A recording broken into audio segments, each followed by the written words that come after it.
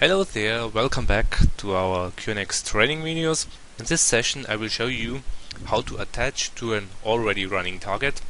Of course you need first to connect the Trace32 to the target and then you can start the target.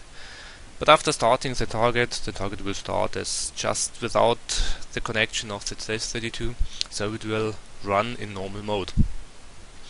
And after that we will attach with the Trace32 onto the running target so you can debug the target from a specific point on.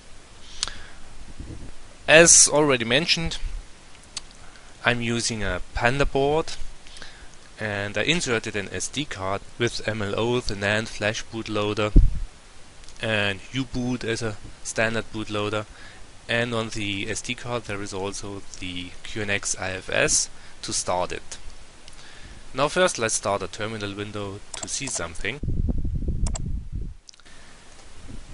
Then power on the board. You can see the bootloader starting. And then we can start our IFS that is on the MMC card with the terminal. So first I have to init initialize the MMC. Then I have to load the IFS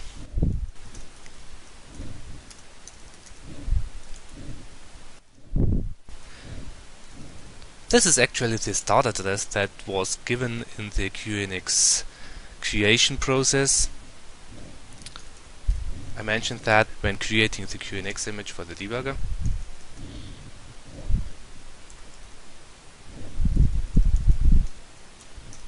This is the IFS that we created and let's see. Don't care about the invalid size. It will run anyway. And we start it. Again with the start address of the image.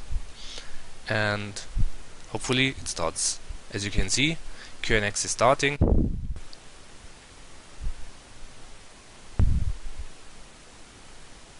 Okay QNX started. And let's see so it's a standard QNX version on the Panda board.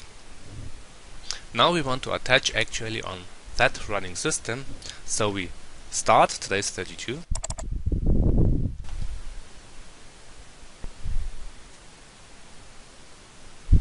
Here we are. Let's make it that way, so that you can see both sides. I prepared a small script that actually does the attach. We will have a look at the script later. Do QNX attach.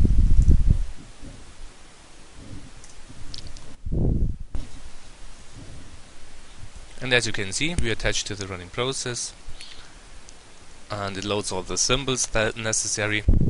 And here we are actually.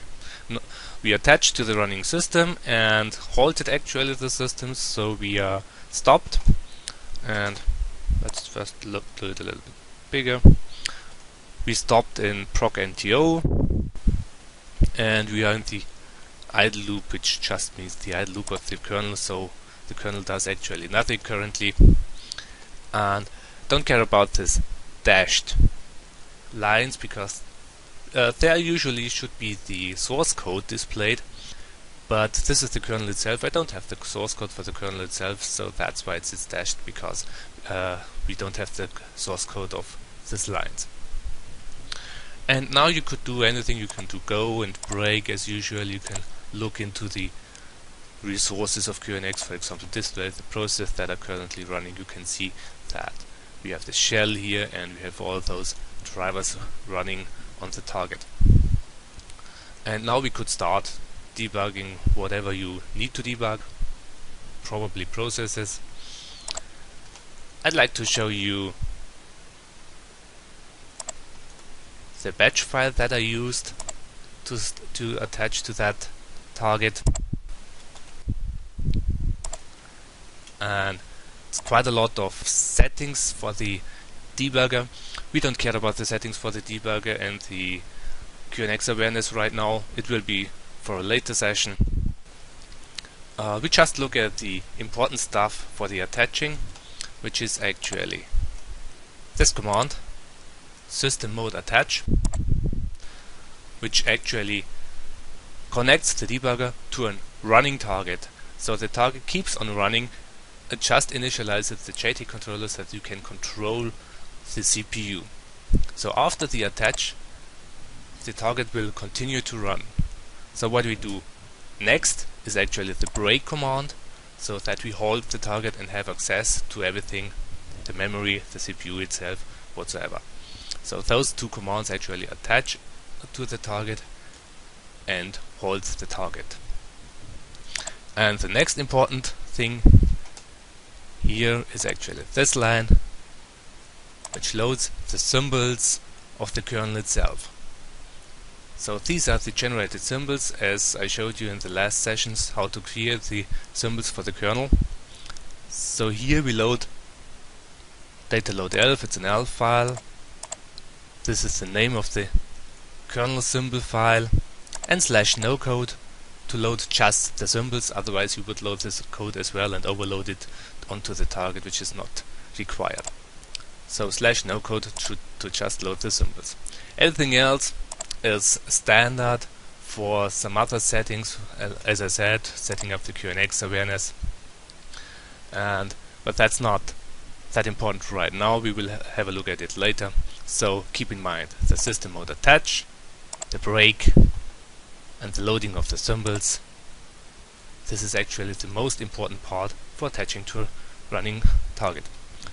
That's it for now. It was a quite quick session.